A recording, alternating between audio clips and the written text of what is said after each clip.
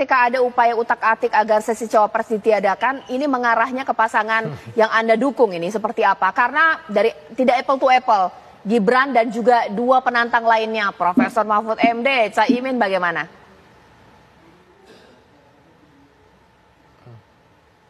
Mbak Ceril boleh dijawab.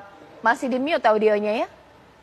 Ya maaf. Silakan, ya. Saya tadi dari tadi nunduk, saya lagi baca WhatsApp grup. Saya baru dapat informasi siapa yang meminta.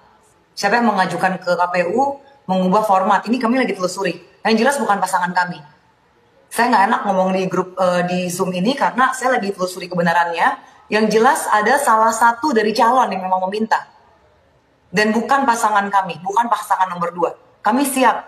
Karena seperti kami utarakan, pasangan kami keduanya sudah pernah menjalani debat.